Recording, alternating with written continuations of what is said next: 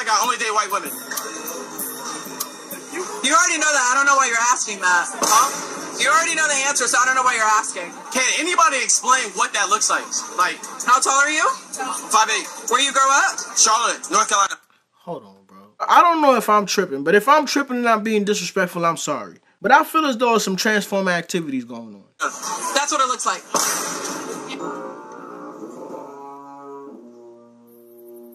Is it the glasses or what is it?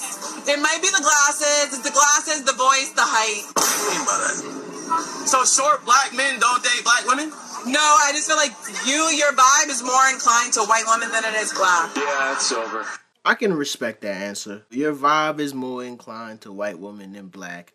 And the reason why I could respect that answer is because I do feel as though there's some black dudes that wouldn't survive in a relationship with a black woman. I personally don't care who dates who. You can't help who you fall in love with. If somebody tells you you look like you date white women, as a black man, that means that you can't handle black women.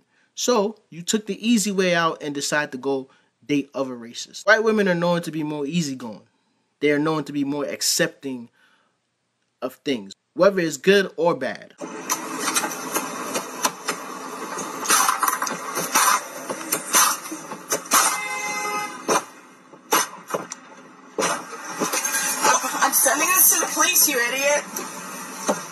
That's a female?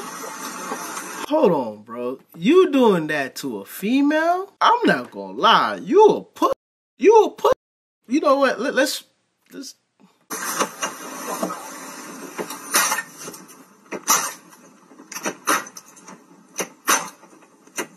Son.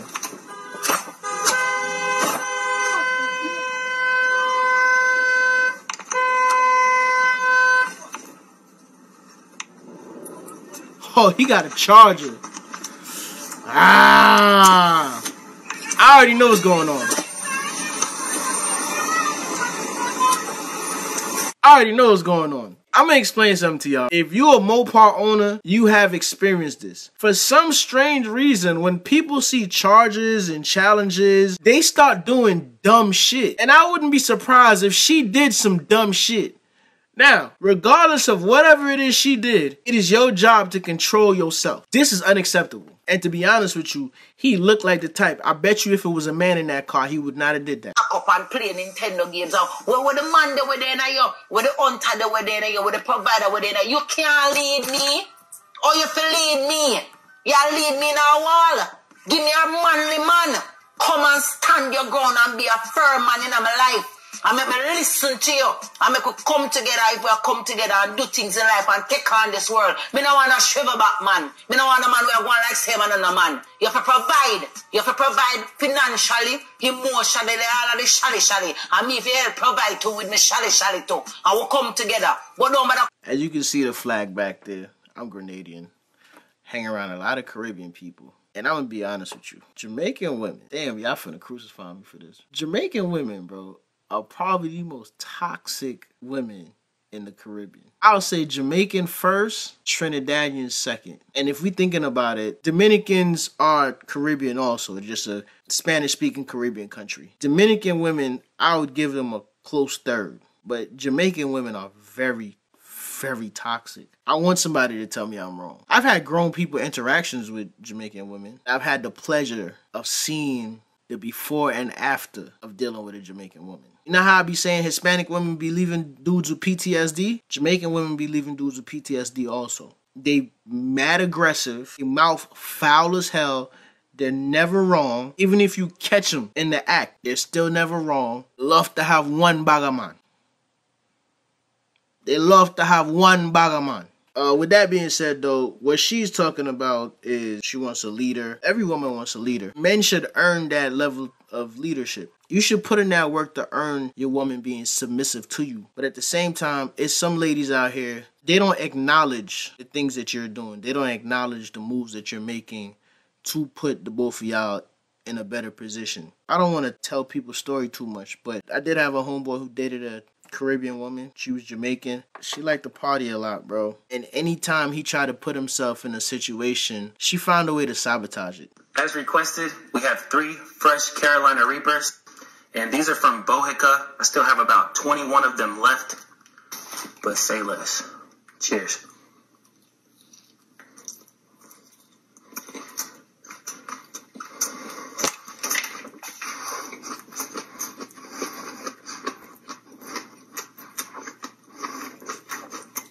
James, this what you be doing on your spare time?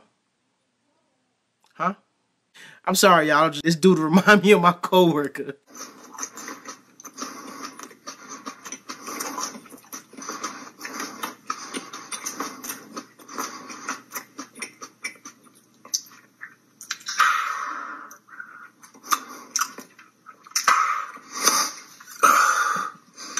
I want to take a moment to remind everybody that this is all for fun.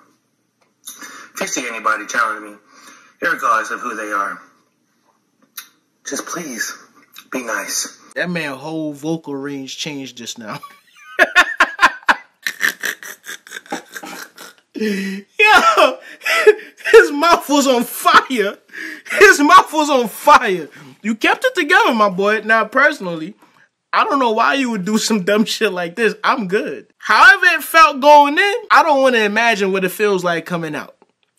Pause. I still notice a few of y'all that watch these videos religiously that aren't subscribed. Go ahead and hit that subscribe button. Go ahead and follow me on Instagram and make sure you got the notification bell selected to all. That way you can get all the notifications when I upload these videos. Stop playing with me. Hit that subscribe button. Let's get right. All right. Let's have, Hmm? let's spend some time. Where? What? You didn't even come here to come for me. You can't go drop off a package to someone else's house. Uh, I have time, that's it. I don't have time. Man, should I have time? And I'm about to go bathe my skin. You're? I'm about to go bathe my skin. Oh, Yes. uh, I like your Thank you. Thank you. Uh, I'm just controlling myself to get in All right. Well, I'm about to go bathe. Okay. for like five minutes. No. Like, oh, No. Are you sure? Yes, I'm sure. I think uh, you you want it like that. Who wants what? You No, no. come on, babe. Come on. no, no, no, no, no. Seriously, No. I'm just controlling. Okay. Well, My thing is, why did you open the door? Them the type of dudes probably ain't never had no poom poom in his life. Probably sit behind his computer and choke the chicken all goddamn day. You might have came outside by accident, or he might have seen you walking in your house, and you resemble something that he been fantasizing about, and now he trying to make that fantasy a reality. You don't got no game, fellas. Let this not be you. Don't be this thirsty. Understand when you going too far. If that was me, I drive for Amazon and it's a female on my route that I'm like, damn, she got the wagon. I'm gonna try to catch her outside. I'm not finna knock her door. I'm not about to do that because that shit is creepy. And then you you sounding crazy. You ain't even trying to get to know her. You trying to go to third base right away. You ain't even you ain't even coming at her with no. Yo, I seen you the other day and you look so beautiful. I just want to know if I could take you out to dinner. You ain't even coming at her like that, nigga. You coming at her like I'm trying to come in the crib and spank them cheeks. Oh, you got 30 minutes early again? Yeah, I had to clock in early. I like to get a head start with everything. Keep up with the work. Love you, man. Come on. Hey, boy, I know this is skit. Let me tell y'all something. You work with one of them type of niggas right here, Mr. Over and Beyond, you gotta be careful. Are we offering overtime today? Who wants it? Oh, it? yeah, I'll take that. Y'all don't want none? You guys don't want overtime? No, I'm good. Oh, it's more money for me then. Those guys don't do anything here. They just like sit around, eat candy and shit. See the one over there on the left? He never does anything. I'm starting to see that. He just jack off time.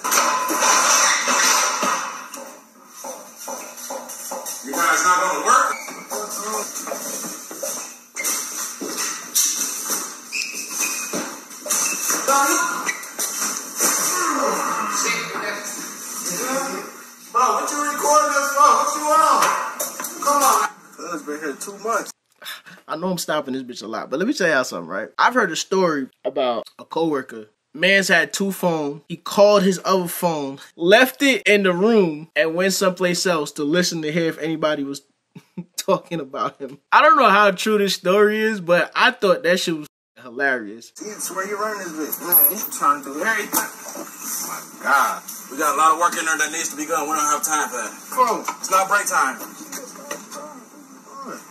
Bro, you know what? Ah, taking our to the picture, boss. blood. Come on. I put 100% into this job. You guys don't do jack shit. They're right back here.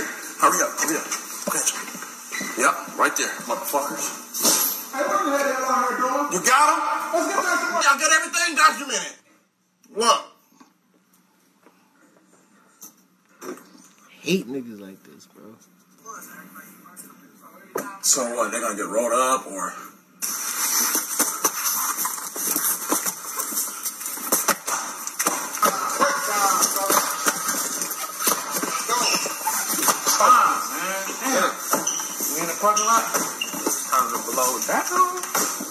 Time, break time, break time. Oh no, I was just gonna work through my break. You sure? Yeah, and just I keep used to working this. so we can get a head start for tomorrow. I ain't gonna lie, I used to do this. I used to work through my Love break. you, man. Love you. Uh, I used to work through my Oh, it's break. okay, go ahead. I'll stay behind. You still working? Yeah, I'm clean up a little bit. You just did sixteen dollars. Oh, that's fine, man. You know, one day I want to be CEO of this company. One day, you know, I'm out of here. manager. If I work hard enough, I can be right where you are. You, you want me to let you out? I'll let you out. You want me to let you out? The break part I understand because I used to work through my break. Sometimes my machine used to be jacked up. Instead of going to break, I used to make the necessary changes. But if you work with somebody like this, you have to be very careful. These type of people are snakes. They're basically CIs, confidential informants. Anything you do or say will make it to management. At my previous job, we had a lot of people like that. Anything that went on on the floor, somehow management knew about it. Management knew who was who was doing whatever they was doing outside of work and I just never understood that. If you're like this, I want you to understand something. When you work at these jobs, right? You are a tool to make sure your supervisors and your managers get promoted. You're a pawn. You are a pawn. If I work on the floor with you, game it's us. I don't snitch. I don't believe in telling motherfuckers what another motherfucker say. I don't believe in none of that, dog. I'm big on this book right here. So a lot of times at work, I act a lot dumber than I actually am. I love it when people get around me and they think I'm I ain't gonna say slow. I don't act slow, but they don't think I'm as intelligent as them. So you just you play the part. I would suggest.